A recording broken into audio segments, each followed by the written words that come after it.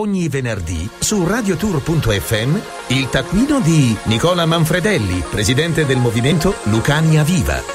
Amici di Radio Tour, un caro saluto a tutti. Ci sono un paio di buone notizie che non voglio assolutamente sottovalutare perché da versanti diversi confermano la tesi delle grandi possibilità che esistono per questa nostra terra a condizione che si agisca con correttezza e competenze, non per affarismo e approssimazione, pensando solo a come far soldi senza creare benessere e occupazione, che lo voglio ricordare è la condizione in cui versa l'intero Sud e in cui annaspa la nostra Lucania Lucania, che non si merita di essere definita terra di cacca come ha fatto qualche giorno fa l'addetto stampa della Total. Conosco Massimo Dapoto, il dirigente che probabilmente ha detto quelle frasi senza alcuna particolare cattiveria, ma ciò non giustifica e non sminuisce la portata dei danni provocata da quel manipolo di persone come lui che nel decennio che portava al nuovo secolo, agli anni 2000, scelse di abbracciare le ragioni della finanza e del profitto piuttosto che quelle della difesa delle popolazioni e del governo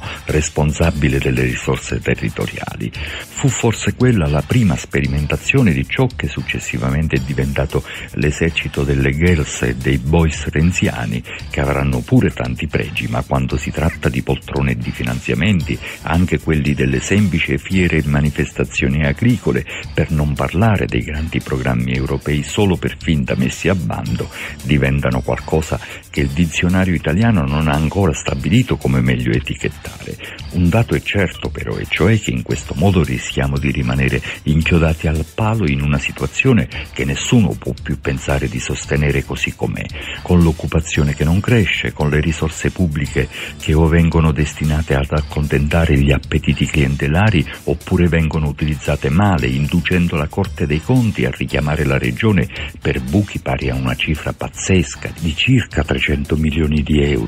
prodotti dai tanti enti e società che non hanno motivo di esistere senza far nulla di utile per il miglioramento delle condizioni economiche e sociali. E tutto questo non è accettabile perché ad incominciare dai fondi per l'agricoltura deve essere chiaro che i soldi non sono né dell'assessore né dei dirigenti burocrati superpagati, ma i legittimi proprietari sono solo ed esclusivamente i coltivatori e gli operatori delle zone rurali. E la stessa cosa vale ovviamente anche per il turismo, dove la bella notizia. Del New York Times che individua Matera come la terza destinazione italiana da non perdere deve dare una sveglia anche a quelli che non credevano a tali possibilità, oppure all'eventualità che fosse possibile ottenere un risultato incredibile, di cui parlerò più diffusamente nel prossimo taccuino, che è quello della norma, frutto della nostra iniziativa meridionalista, che impone al governo di stanziare su ogni intervento almeno il 34% delle risorse alle regioni del sud,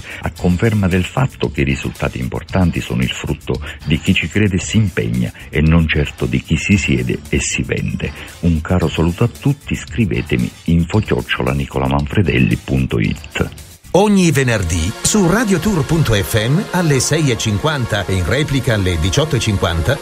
il taccuino di Nicola Manfredelli, presidente del movimento Lucania Viva